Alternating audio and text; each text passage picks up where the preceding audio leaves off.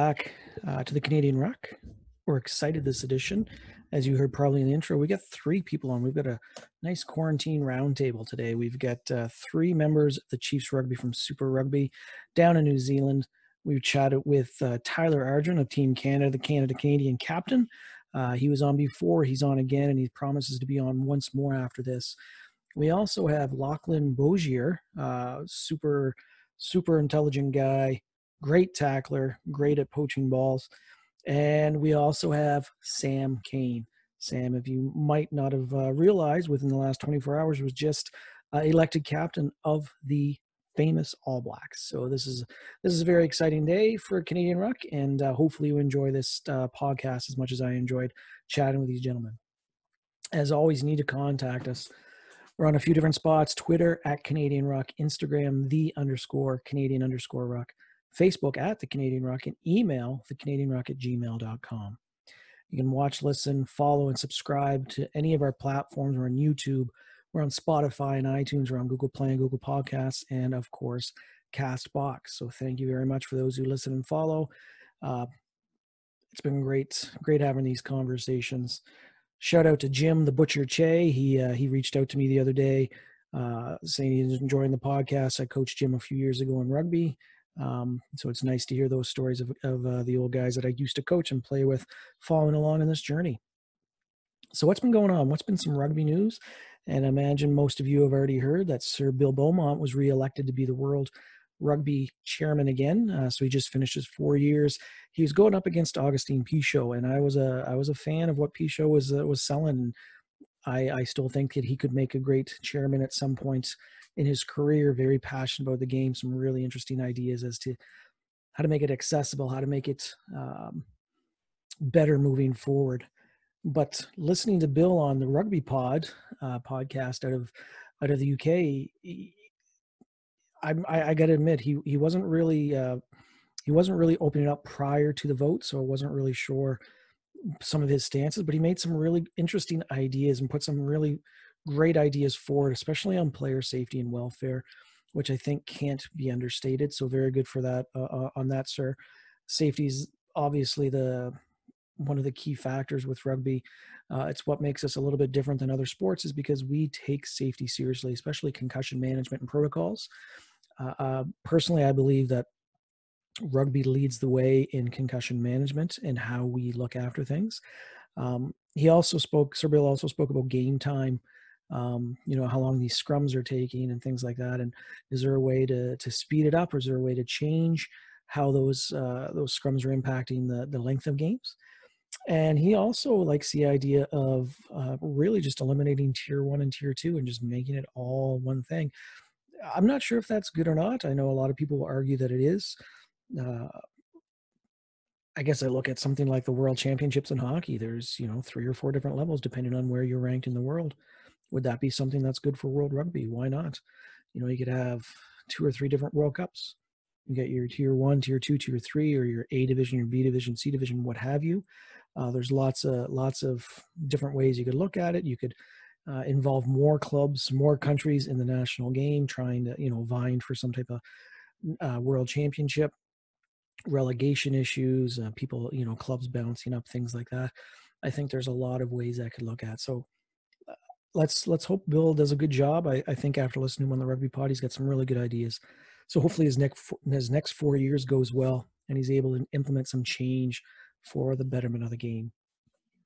So let's stay positive thinking about rugby. I know everybody misses it, but there's lots of places you can watch some old matches. You know, YouTube, other other videos channels have games showing all the time. lots of places to get your rugby fix.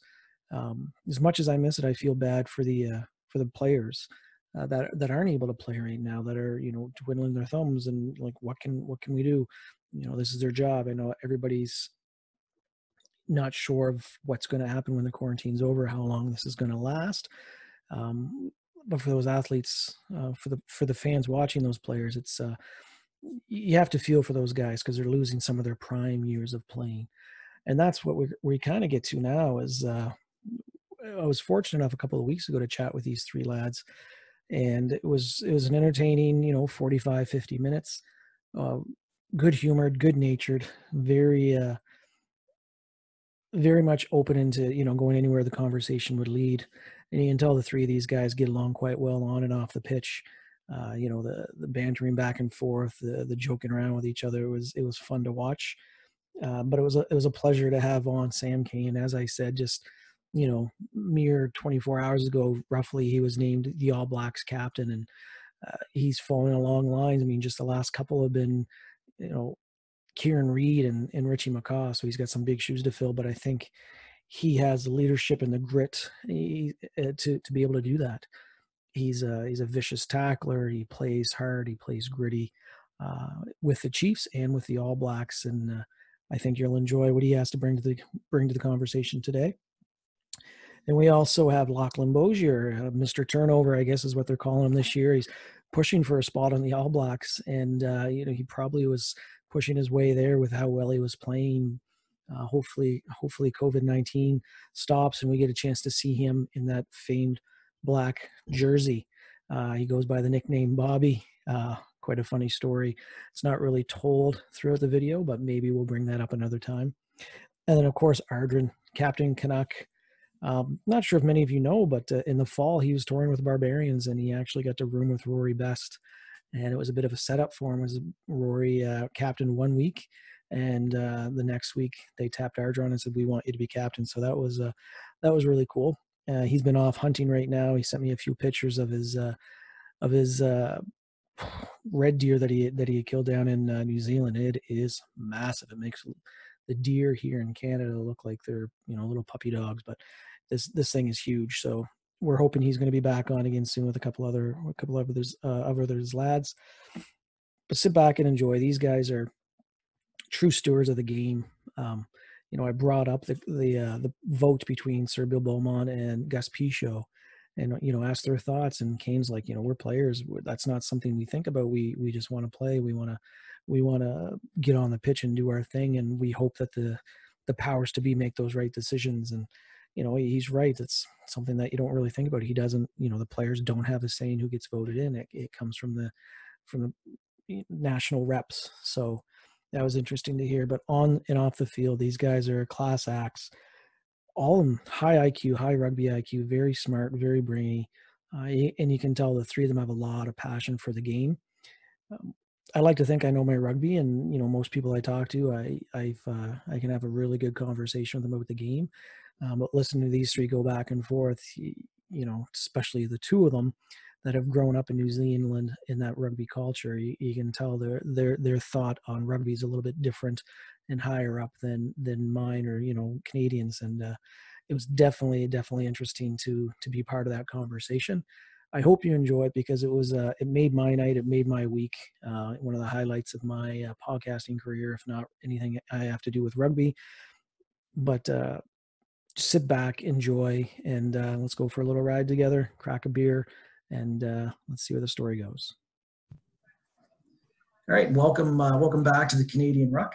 Uh, talking today with uh, some Super Rugby players uh, from the Chiefs who are having a great season until COVID stepped in. I got Tyler Ardron back on, local boy from Canada. We've got Sam Cane who plays little with the All Blacks, and Lachlan Boshier. Um, all loose forwards and uh, front five a little bit, I guess, for the Chiefs. Um, thanks very much for coming on, guys. Really appreciate you uh, you being here with me tonight. Yeah, no worries, Jamie. Thanks for having us. Having us. So let's jump right in here. We've got uh, we've got a few things in World Rugby right now, even though there's um, there's some downtime. A big thing that I've been following is Augustin uh, Augustin Pichot is running for the World Rugby Chairman. Um, I think this will be great for the game globally. Uh, he's younger. He's got some great ideas, and he's trying to look at the sport globally, holistically, as opposed to centered in you know possibly Europe. Um, does this affect you guys much? Like, how do you guys see this playing out? Does it help rugby players in New Zealand? Is it great for the game globally, or is it uh, does it really matter to you guys? Look, if I'm completely honest, um, as rugby players, we're not too um, invested in what's going up. Uh, you know, the higher levels of the game once we decide what happens. But um, look, I know he was a, a, cheeky halfback back in his day, so uh, it'll be interesting to, to see what he could bring to the table. Uh, and I think if we look at it from a New Zealand point of view, uh, and the way that, uh, or the fact that we've been travelling to Argentina and playing there, um, he is probably, I'd say, he's an advocate for the way the Southern Hemisphere play the game. Then, um, you know, good, good on. But um, I, I can't really comment too much about it because I haven't looked into it too deeply. That's fair. Yeah, I haven't really looked into it either, but I know like New Zealand's quite good um, with spreading the game. And if you look at the Maori All Blacks, and uh, I think they had like a New Zealand 15 planning to come over and play in Vancouver, that sort of thing. They're actually pretty invested in growing the game, uh, probably because the All Blacks brand is so strong. So I think something like that is is uh, is probably something that New Zealand would be on board with. Whereas being uh, playing in Europe for years, I know they're much more interested in in their own and, and not really reaching out. They're a bit more worried about losing some of the power they have. So I would say most of the, well, from my experience, New Zealand would probably one of the more on board countries with it. That's good. Yeah, I, I think so as well. Um, World uh, World Rugby's just said that they're going to give out 100 million dollars U.S. in global aid to uh, to help professional sides and, and nations during COVID 19 does that impact you guys any as uh, as players for the Chiefs? Are you guys financially okay? Are you taking pay cuts? Does does this help your clubs? Does this help your professional sides? Uh, look, I think we're we're pretty fortunate um, here in New Zealand. Uh, the game's pretty strong, and financially reasonably stable. Um, you know, the New Zealand rugby is definitely taking a, a major a major hit as um, as I think most countries are. But I think we're in a better position than a, a lot of others are, just from um, communication that we've had. So, look, yeah, we're definitely taking a pay cut, um, and we're we're wanting to do what's best for the game and make sure that our clubs can stay afloat and that we've um, you know got clubs to play for next year. So, I think the fact that um, World Rugby is putting that money out. I hope it just goes to the places that it's needed the most. That's. I think that's a great answer. I think when you think of rugby, you think of New Zealand, and New Zealand, in my mind, has always looked at the game as holistically as possible to try and make sure, you know, everybody gets a fair stake.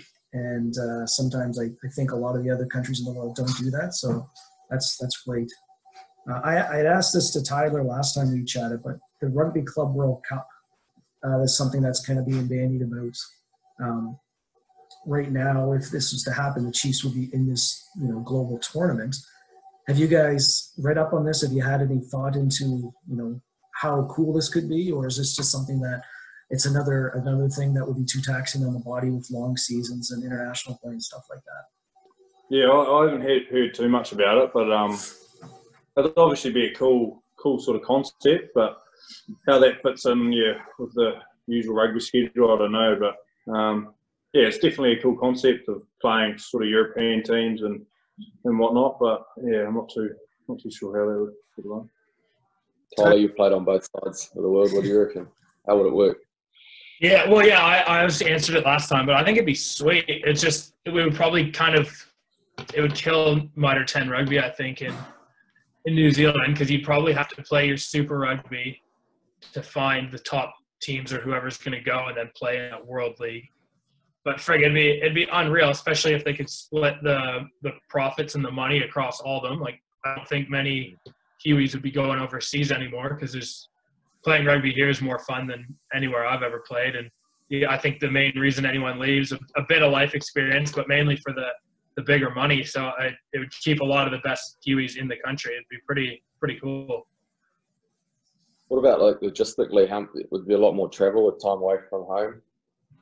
I don't know. What do you like? I reckon it would probably just be kind of similar to um, to Super Rugby, like how it was a few years before I came. Or you go to, you think you guys used to go to South Africa for like three or four weeks at a time or something. Yeah. I don't know if you because I'm trying to think if you had how many teams was it? Twenty teams. 20 teams, yeah. Play.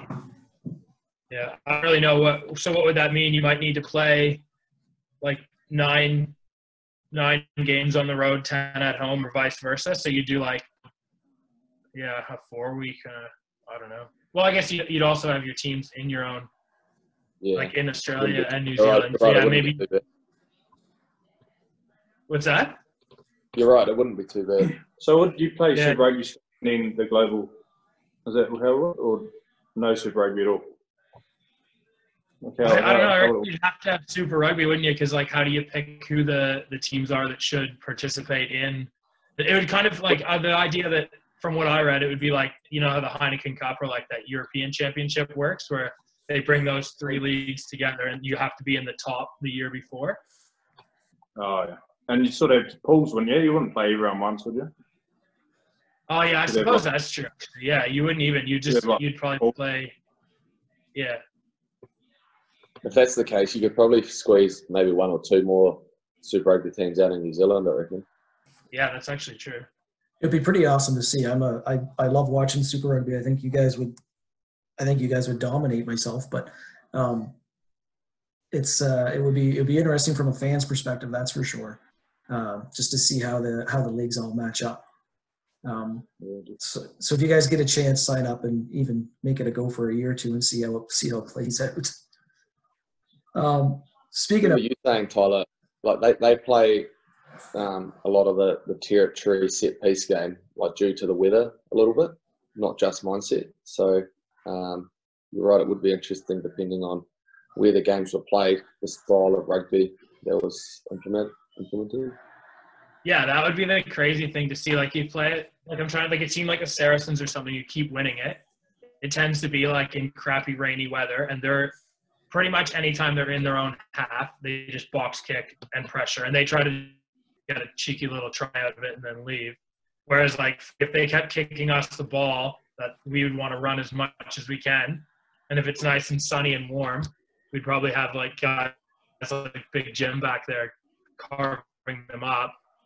But then shit, if, if it's like wet and crappy, their style could be yeah, it'd be it'd be friggin' interesting to see. If they brought some of those like 130 kilo packs over here, they might struggle a bit to run around. That's fair. um, the other thing I've been reading on is this. This is affects the the three of you guys for sure, but um, with COVID slowing down, I think um, there's talk about potentially having the rugby championship and Super Rugby either happening at the same time uh, or like inter-country play only.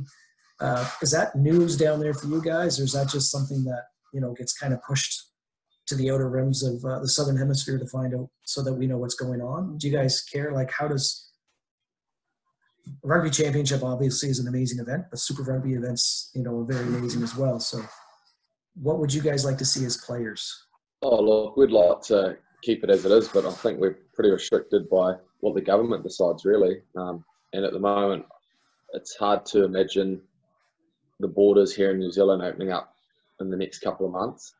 Um, look, I think if if they do, and there's other borders open, I'm pretty sure New Zealand rugby will be very open to trying to get some an All Black team fielded and get some of those Test matches going.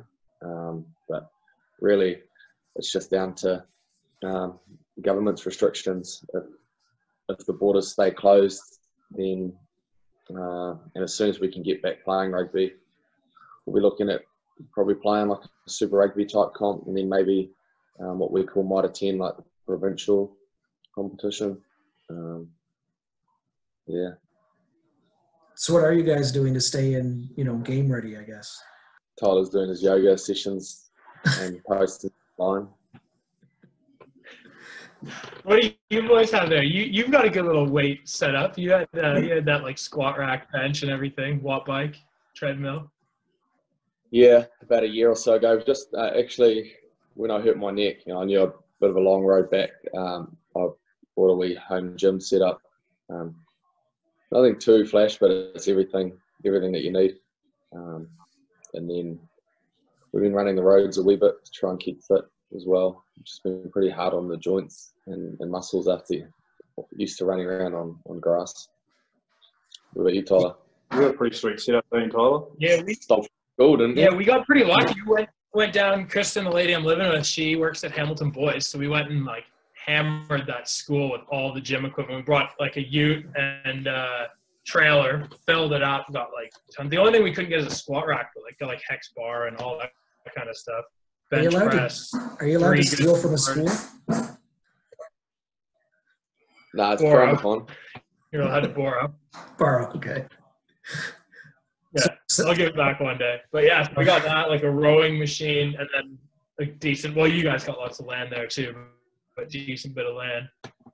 I don't know. I've been like hammering like CrossFit workouts and stuff lately, just kind of getting into that because I was I was just sick of rugby weightlifting and stuff. Yeah. Sam, How you been going from you you guys could do some contact with each other at least. Tackle practice out backyard or something. Yeah, but we could, but we haven't yet. We'll, um, You're still getting. we'll leave that, but until we get closer to playing, I think. Sort of good just to um, get the body sort of freshened up a little bit. Sort of, yeah, bit of an off season sort of thing. Still working hard in the gym and on in the um, conditioning, but yeah, the body's sort of just taking relaxed, not getting beaten up all the time, which is good. That's And good. these boys are too busy. They've been they've been fishing a lot lately, so You're hunting, so no, I'm not allowed. I can't can't go hunting. I'm hunting hunting rabbits as far as I can get. are you guys allowed to be out fishing? Nah, it's a bit of a. Uh, we, we made a we made a video. It's on uh, it's on my Instagram actually. We just um, had a bit of a laugh. Pretended to go fishing in a trough, which is like hundred meters from my house, um, and yeah, we caught a big fish in there. Oh, I've got the um, I've got the Isolation Nation. It's like a I don't know. What, is it Sky Sports that run? Who runs Isolation Nation? Do you guys know? Yeah, yeah, the Sky Sports. Got it. Yeah, I've got that this week. So I've got some interesting videos they've asked for. I had it last week. Yeah, Did you? Yeah, yeah. When does when does yours come out? I- Or is, has it happened? yeah, it came out on Sunday, so it'll be airing again tonight. It's every Sunday and Wednesday at the moment. Oh, okay. Yes. There's some some quality stuff they want. yeah, unfortunately, we don't get that over here in Canada. Send me some uh, highlights if you can. Uh, Sam, a few minutes ago, you spoke about rehabbing from your neck injury. Walk us through that. It's a, you know, broken neck is a pretty traumatic thing, but you know, you, rehabbed, you came back as strong as ever. Uh, walk, walk us through that a little bit, if you wouldn't mind. Uh, yes, it was October 2018. Um, we played in South Africa in Pretoria. Uh, it was early in the second half. I just went to clean out um, Francois Louw at a ruck. Um, I sort of had anticipated that he was going to jackal the ball, and I'd sort of gone in extra hard. And um, just at the last second, managed to his body got twisted round from someone, one of our other players cleaning him out. And so the hole that I was aiming to put my head sort of between his, around his torso, um, his hip just made direct contact with the top of my head. Um, but at the time, um, to be honest, I think I was concussed a little bit. Um, so I was a little bit dazed. Um, had pins and needles down my um, right side of my arm and then that subdued and sort of walked off um, in a bit of pain, but knowing I probably wasn't going to be back that game. Um, and then the medical staff insisted I went to the hospital, and it was probably about 15 minutes after I got off the field that I really knew something wasn't right. Um, I was in a lot of pain on that uh, hospital, in that ambulance to the hospital still not for one moment do you consider that you've broken your neck. You know, it's no, you don't know what it feels like unless you've done it, and um, how you how you're supposed to know. So it wasn't until probably two hours later, once I finally had an X-ray, um, the doctor and nurse came in and told me the extent of the injury. Um, the toughest part was probably that next 24 hours waiting for surgery, just in a like dozing in and out, a lot of pain. Um, but once I got through that, um, you know, they told me the surgery went really well, and you know, all going well, I could get back playing rugby and, and live a normal life. And they just let me know how, how lucky I was. Um, main reason that the because of the, a break, a fracture dislocation, so the vertebrae was broken in two places, and that piece that was broken completely dislocated to you know moved away. So the, the reason that I was so lucky is the all the neck strengthening and conditioning that I've done over the years. Um, so the muscles in my neck sort of contracted as soon as it knew something wasn't quite right. Um, in which case, that broken piece didn't um, touch the spinal cord. So I know some people aren't so lucky, so I was pretty fortunate there. The road back, uh, it wasn't too bad to be honest um, because of that fact that I was, I realised how lucky I was to not be in a worse position. So, although I was unfortunate and unlucky to break my neck playing rugby, um, I realised that it's not, you know, rugby's fault. It's not. It's just it's just bad luck. But in the same breath, I felt very lucky. So, yeah, I just took it step by step. Um, uh, it was frustrating. I had to have a neck brace on for three months. Um, only allowed to take it off to shower. So sleeping in it too. You can't drive, so you sort of lose your independence a little bit. But once we got out of that three month period, um, just had a couple of months of just being a normal human, you know, and there wasn't any any rugby training. Just uh, sort of did what I wanted, and then also enjoyed next sort of three or four months of, of building my body back up to get it in the condition to play rugby again.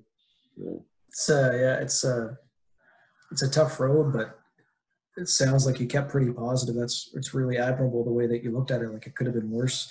Um, you know, you get injured. You, as you said, you I was playing rugby and it was a pure accident.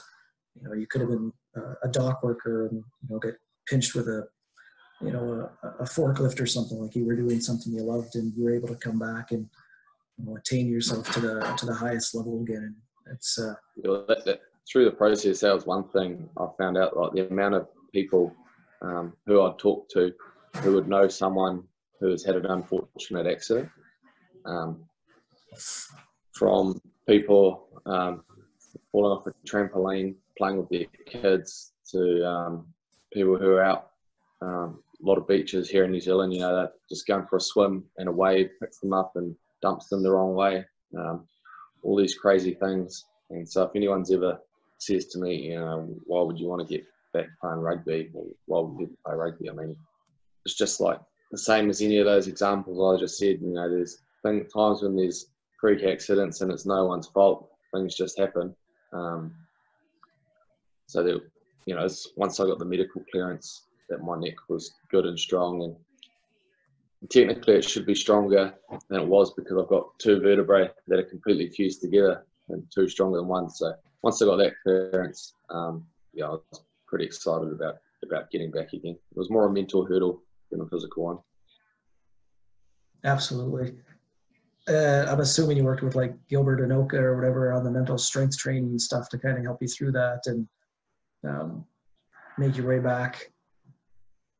Um, well, I was in the the Chiefs by that stage, so the way it works in New Zealand, sort of when you're playing Super Rugby, you're look, you're trusted to be looked after by the staff in that rugby club. Um, if you make the All Blacks, then you transition over to their staff. Right. So um, yeah, look in the early stages, um, everyone from both camps, All Blacks and Chiefs, were keeping in contact, and and that was really good.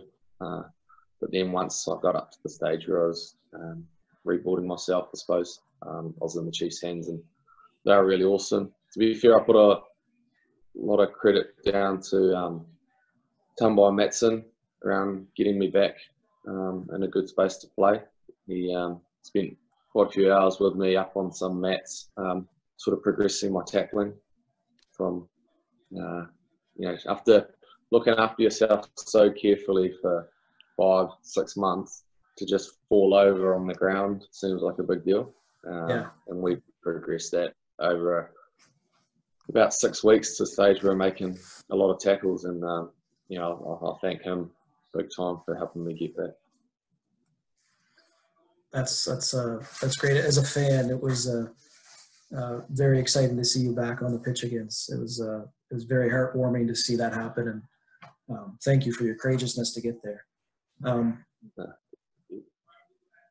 Lachlan, looking at you, uh, uh, I'm looking at. I feel like I'm looking at Captain America from Avengers: Infinity War. just, just a little bit. I don't know. Um, I read a good quote about you the other day. Um, something about you being the king of turnovers this year. The quote I read: "He's got more turnovers than the local bakery, but more modesty than mince pie." Speak to us a little bit about your roles with the flankers. Like, what improvements did you make to get, uh, I guess, that pretty lofty, uh, that lofty uh, praise? Tyler's laughing. I don't know if he's laughing at the quote or the Captain America thing, but Sounds like something Tyler would tell you to say. Um, yeah, it's a pretty nice quote, really. I Um, didn't tell him to say that.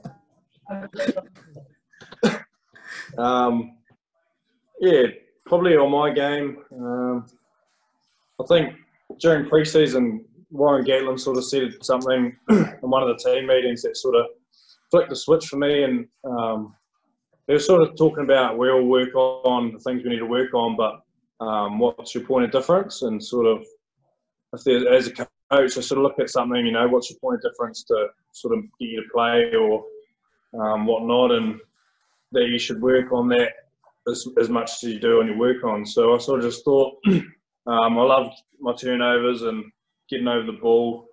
So I thought I'd work extra hard on that this year and um, not probably focus on it more, but just try and get myself in positions where I can sort of be beneficial or um, you know help the team out. So just sort of put a little bit more effort into that, and I think it sort of paid dividends um, in some of the games, and um, yeah, just really enjoying it. And um, probably over the last couple of seasons, I've had a few sort of niggles and little injuries that I've sort of got right over the preseason. So had a pretty good preseason and um, was feeling really good. So I think just comp, comp um, bit of everything sort of coming together and um, yeah, sort of just helped my game out this year.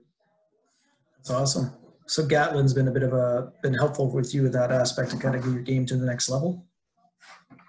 Yeah, uh, he's a very good coach. I think yeah, just different sort of different sort of look um, on the game and just a few little things, you know, just little conversations I've had with him that have sort of helped and um, yeah, I guess just probably coming from the northern hemisphere, just a different sort of maybe um, coaching styles, but still sort of similar to um, our old coaches. So yeah, I think that sort of helped as well. Great. It's great having uh, knowledgeable coaches that can uh, pick out the little things to make you that much better. Um, so somebody having somebody like Gats there has probably been tremendous benefit for you guys this season. Um, Tyler, the only the only Canadian, uh, talk to us about growing up in hockey mad country, uh, but all, you know to become one of Canada's best rugby players. Captain Canada. Yeah, well, I, didn't really think about rugby when I was.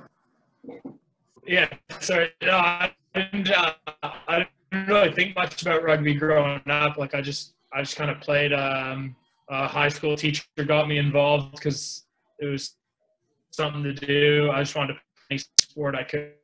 It either that or lacrosse, and he told me it was a better sport. Gave that a go. So no, I, I didn't really, uh, I didn't really like have much much thought about it growing up in in hockey mad Ontario, especially. So uh, I still I still always dreamed about going to the NHL professional ice hockey, but definitely didn't uh, didn't quite have what I what I needed to get and probably got a little bit bigger than most hockey players now. So, um, and travel all over the world and play now. So it's been uh, it's been one of the well, it's been the best thing to ever happen. I, uh, that's I, I really like the answer. Uh, Sam and Lachlan, is Tyler's picture frozen for you guys too? Yeah. You got that creepy little smile on? Oh, there we go. No, it's sort of bad. Yeah, you had the Ronald McDonald smile frozen there for quite a while. You're looking better though. At least I'm smiling. Our internet's a bit around the world. here. We have to restart it. Um, being a multi-sport athlete is something I fully endorse. Uh, I've always argued that rugby is a great sport here in North America to play in the off season from you know hockey or football or basketball um, because it's physical, it's tough. The emphasis on footwork and handwork. What sports did you guys grow uh, play growing up there in New Zealand? Um, growing up, I played tennis and cricket. Yeah, played a little little bit of soccer, uh, football, but um, it's probably tennis and cricket in the summer, and then yeah, just played rugby growing up. So yeah, I think it definitely helps sort of playing multiple sports, sort of good for the hand-eye and um, a few new skills. But once I got a bit older, I sort of just focused on rugby and yeah, just, just playing rugby. Uh, yeah, growing up, I was in a small town, and uh, you pretty much play any sport you wanted and make the top team because there was only one team. So uh, I had a little dabble at everything, but probably the one sport I played right up until my last couple of years at school was was basketball. Um, just a really social team. Pretty much the rugby boys switching over and playing basketball. Tyler, you played hockey. What else? Yeah, I had um, actually when I was going to university, I had to choose between uh, playing rugby or playing volleyball. So those are kind of like the two sports I was deciding to to continue with. But yeah, I played a lot of played a lot of basketball as well growing up, and we've got a we've got a hoop here where I'm staying, and the 13 year old boy I live with, Merrick, he's convinced he's going to the NBA, so we get a lot of a lot of basketball practice in these days. Uh, in Canada and North America, there's a stigma that rugby is, you know, brutally violent sport. Uh, Sam, you kind of talked to about when, you know, people said, why would you go back and play rugby again? But what do you tell parents when they have concerns about letting their son or daughter play rugby, especially if they think it's going to affect them um, another, uh, like a playing another sport? Like here in Canada, uh, they've taken out contact in our middle school programs and they won't they don't actually get into contact rugby until you're in grade nine so you're about 15 years old new zealand you guys start tackling really early right Yeah. Uh? Yeah. Look, I think um, the best thing to uh, help the safety of rugby is to teach good technique. So we're really fortunate in New Zealand. Like, there's a lot of good coaches going around, and I think that's um, you got to contribute that to the success of so many um, good New Zealand rugby players is some of the early coaching. So I think the earlier that good technique can be taught, the ability to tackle off both shoulders, um, you can pass off both hands, things like that, um, lower the, the risk of injury. Uh, you know, and of course, because it's a contact sport, there's always going to be um, the odd injury or the like freak accident, like we alluded to earlier.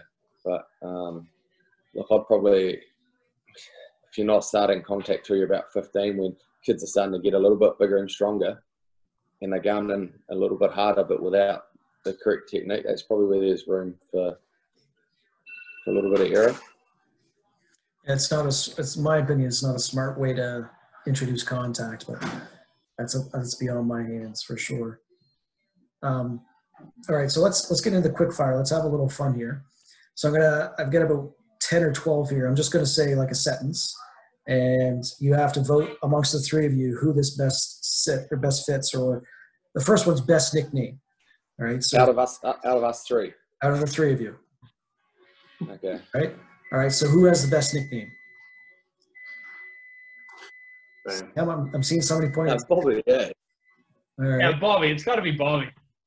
What about Beetle or Rat Bait? Those aren't real nicknames. Like he's referred to as Bobby, and his name's not Bobby. So Bobby. Yeah, they don't, tho- and those are like you're you're 100 percent Bobby every time. Like I've never called you Lachlan.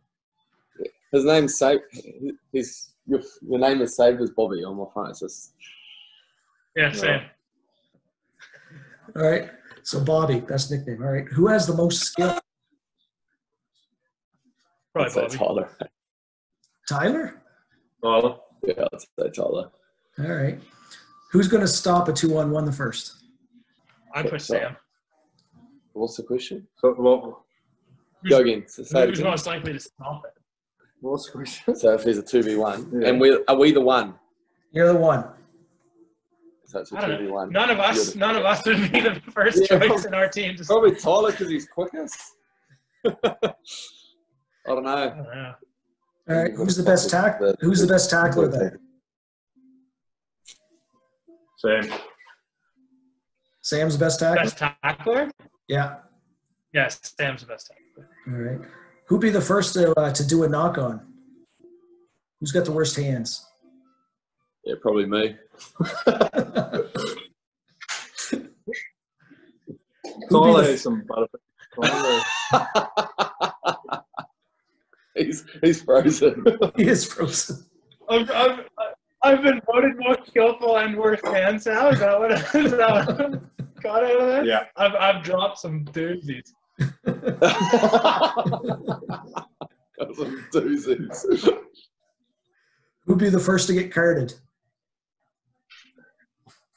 Probably Tyler. Right? He's had a couple. yeah, I forgot. I've actually had a decent amount. I've had a good red card as well. So Yeah, we'll go you then. But they've been, they haven't been. They've been more like um, Team ones. team ones A, and you're the last last straw. So that that doesn't make it better. Oh yeah, yeah, yeah. That's When right. he gets stumbles, yeah, definitely do. That's terrible. That one sucks. That was about my Cost us, sixth cost us a time in the try game. too. Yeah, it did. I Almost lost it because of that, didn't we? Who gets in trouble with the coach more? Uh, Barnsley, me? Bobby. Yeah, I'll take it. Yeah, Bobby fights with his dad quite a bit. All right. Who's the fittest? They save most of their fights for the dinner table, I think, though. So I'm not really sure. Who's the fittest? Bobby. Bobby. Who, who's the best at Who's the best at yoga? I hope it's me. Actually, it could be Bobby. He is flexible. That helps his turnovers too. Those hips. Yeah, if he put some time into his yoga, eh? Yeah, I'd say naturally Bobby would be better than me. Do you, do you guys have a YouTube channel for yoga? No, No. No. no, you. Who gets in trouble at the pub more? At the pub? Who's loose? Probably Bobby. Yeah, Yeah, probably Bobby. Yeah, I'll tell you. You're getting picked on here, I think, Bobby. Who's the best cook? Not Uh, me. Tyler, Tyler, Tyler's cook? pretty good. Yeah, we'll go to your Yeah. barbecues, Tyler. Yeah, um, okay. Or you're a slow cooker. Yeah, like you- I've done some good slow cookers, but Sam's got some good meals too. A lot of yours, a lot, the the food bag, you can cook some some good meals out of that. Yeah, I know, but it's not really like I've thought them up myself. I'm just whipping them up. It's taught me some good I've- I've skills. done a lot good, of- good My cooking's improved over this isolation. I've I've been cooking like six nights a week, some nice family meals. So I, I think I might actually take this one now. Oh, well done. That raw pig we had on that hunt, that was Who, who's got credit for that one? That's you, Bobby. Eh? Some some raw pig over a fire. I Wouldn't believe that. I pretty much half finished the sandwich, and they're arguing whether um, you could have pig or pork slightly underdone or not. and it was pitch black dark. We couldn't even see. it was pretty good though. Did the trick. Who has the best taste in music? I'd say we've got similar tastes in music, eh? Tyler's It wouldn't be me. I'm pretty much all country music. I don't have much variety in mine. Uh, Sam, Sam, probably got us then. Bobby and I. his records. Oh, that's true. Actually, yeah, that record player goes nice. I'd say Sam. for that. All right, so this one you all you all Just who would play you in the Netflix movie of your life? So let's, Oh. with, let's start with Tyler. Who would play you in the Netflix movie of your life? I'm pretty useless at that. I don't really know any like movie stars or anything. I don't watch much. All right. How about you, Sam? Um, I'll go Channing Tatum. Is Oh, what it- the hell okay. Maybe Russell Crowe. I'm gonna Russell have to Crowe? say, um, who plays Captain America? Steve Rogers. Oh, uh, Chris Evans. Chris, Chris Evans. We'll take him. All right. Who would be your leading lady? Margot Robbie. Yeah. Okay.